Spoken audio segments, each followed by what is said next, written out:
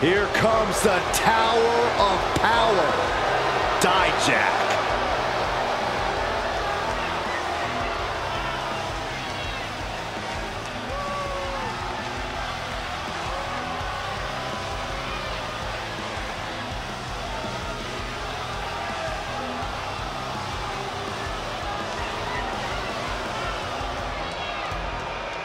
The following contest is scheduled for one fall. Making his way to the ring from Worcester, Massachusetts, weighing in at 270 pounds, Dijak!